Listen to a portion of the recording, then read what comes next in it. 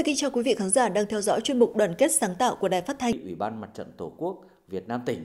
đã tổ chức phong trào đoàn kết sáng tạo, nâng cao năng suất chất lượng, hiệu quả hội nhập quốc tế trên địa bàn tỉnh Bắc Cạn. Thì có thể nói ý tưởng giải pháp của các đối tượng hiện nay đang hoạt động trên địa bàn tỉnh Bắc Cạn từ cán bộ công chức đến lực lượng vũ trang, đến học sinh, giáo viên và đặc biệt là kể cả nông dân.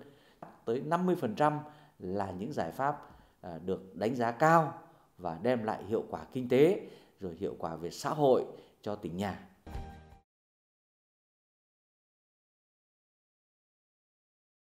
Là một trong 8 giải pháp được công nhận trong phong trào đoàn kết sáng tạo năm 2021, giải pháp ứng dụng công nghệ thông tin đăng ký dự thi tốt nghiệp trung học phổ thông trực tuyến trên ứng dụng di động do ông Đàm Ngọc Hùng, Dương Lâm Hà và Lê Văn Huế, Phòng Quản lý Chất lượng Giáo dục Công nghệ Thông tin, Sở Giáo dục và Đào tạo thực hiện đã đem lại nhiều hiệu quả thực tiễn. Để xây dựng phần mềm, nhóm tác giả đã nghiên cứu và phân tích hai hệ thống phần mềm cơ sở dữ liệu VnEdu và phần mềm quản lý thi tốt nghiệp của Bộ Giáo dục và Đào tạo, nghiên cứu thực tế và chọn giải pháp xây dựng phần mềm trên ứng dụng điện thoại thông minh để đảm bảo 100% học sinh có thể dễ thao tác, phân tích luồng dữ liệu để khai thác các dữ liệu sẵn có trên hệ thống cơ sở dữ liệu VnEdu và dữ liệu trên hệ thống quản lý thi của Bộ Giáo dục và Đào tạo, thiết kế giao diện hệ thống đảm bảo tối giản và dễ thực hiện, phối hợp cùng với VNPT xây dựng phần mềm, hoàn thiện và chạy thử. Sau khi thí điểm đăng ký thi thử tại trường Trung học phổ thông chuyên, thì sáng kiến đã áp dụng thành công cho 100% các cơ sở giáo dục có học sinh lớp 12 trên địa bàn tỉnh. Từ 2018 thì ngành đã xây dựng cái hệ thống cơ sở dữ liệu là có đầy đủ các thông tin của học sinh và trên cơ sở thực tế ờ, hàng năm mà học sinh đăng ký dự thi thì có rất nhiều cái cái bất cập từ đầu tháng 4 thì chúng tôi đã nghiên cứu nghiên cứu sau đó đưa ra những bài toán để phối hợp cùng với Ờ, VNPT để hỗ trợ đến ờ, đầu tháng 6 thì chúng tôi có demo với trường trung phổ thông chuyên thì một học sinh mà thao tác nhanh nhất thì để hoàn thiện được đăng ký dự thi chỉ mất khoảng 1 phút 52 giây. Còn học sinh chậm nhất thì mất tầm khoảng hơn 4 phút. Hết ngày 11 tháng 5 năm 2021, học sinh trên toàn tỉnh đã hoàn thành việc đăng ký dự thi tốt nghiệp trung học phổ thông năm 2021 theo đúng thời gian Bộ Giáo dục và Đào tạo quy định. Theo số liệu thống kê, năm 2021 toàn tỉnh có hơn 2.900 thí sinh đăng ký dự thi, trong đó trên 87,7% học sinh đăng ký dự thi tốt nghiệp trung học phổ thông bằng ứng dụng trực tuyến VnEdu Connect và có 99,36% thí sinh đăng ký tuyển sinh theo hình thức trực tuyến. Các em rất là hào hứng tại vì cái này thì nó có hết thông tin của các em luôn và nó hiển thị lên luôn cái hệ thống của các em nên là các em tiếp cận thông tin rất là nhanh và uh, hoàn thiện ừ, thông tin thi cũng rất là tích cực và không có cái gì khó khăn cả.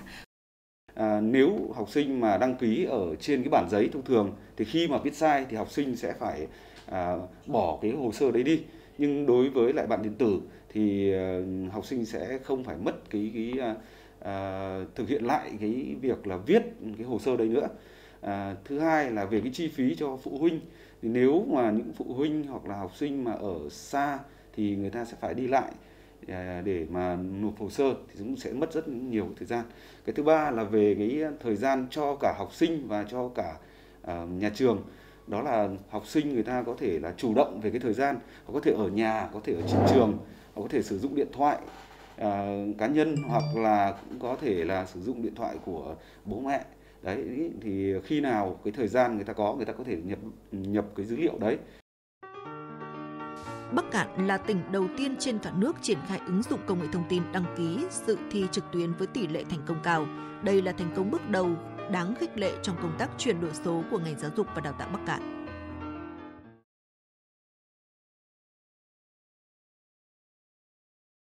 Bởi vì lại chị ở Vũ Muộn thì cái thời còn nhỏ thì có đường đi như bây giờ đâu. Đường là toàn đi bộ ấy. Xong rồi mà muốn đi khám bệnh là phải đi bộ 20 cây thì không không đi được đâu. Chỉ có uống hoa tươi về hấp với lại mật ong ấy,